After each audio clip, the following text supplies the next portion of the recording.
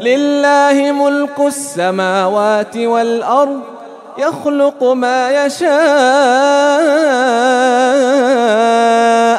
يهب لمن يشاء إناثا ويهب لمن يشاء الذكور.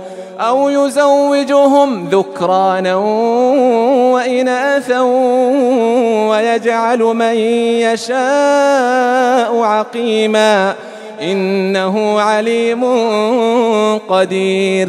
وما كان لبشر أن يكلمه الله إلا وحيا أو من وراء حجاب أو من وراء حجاب أو يرسل رسولا فيوحي بإذنه ما يشاء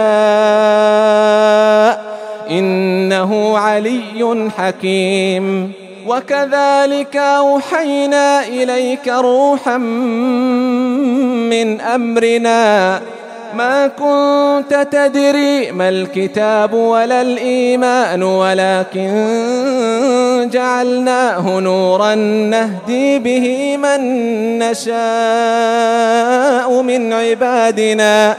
وإنك لتهدي إلى صراط مستقيم.